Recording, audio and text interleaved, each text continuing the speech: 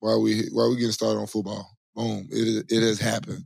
We got one a couple teams that were looking for new head coaches.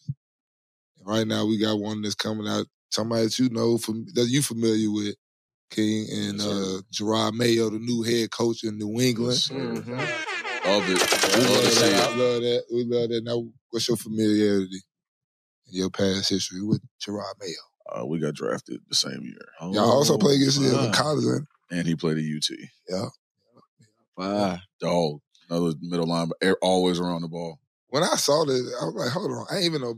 I- like right. most of the people, you don't know what former players are coaching for real unless you tuned in with that player in a post career. Yeah. I did not.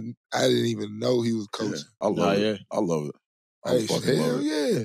Like, look at look at yeah yeah yeah. Ah, yeah, he was de- he was definitely snapping out when he was playing. Yeah. I, I also said that's smart by ownership. That's somebody that's been in Yeah. the building since you fucking should forever. you should want to recycle your your uh, organization. You know what I'm saying? You want to, to bring that mentality back, that tradition back, whatever it is, like your identity of your team. You want those people to be in the building. For sure.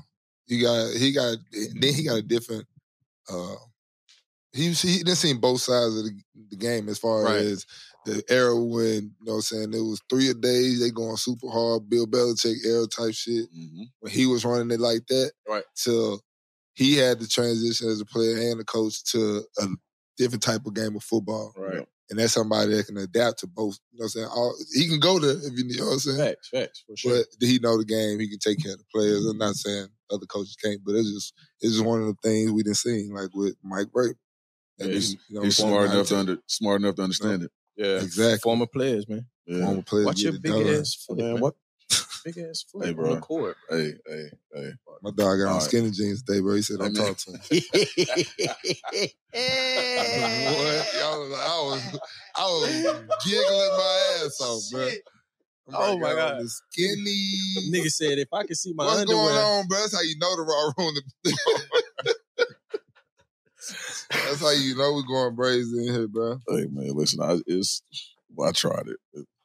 nigga said if I could see my underwear through my pants. See my- Yeah, he said I don't need to to see wear my my drawers drawers with my my- my pants, pants. bro. All right, big dog. I ain't, this ain't for, this ain't for me, man. Hey, This I'm weak as hell.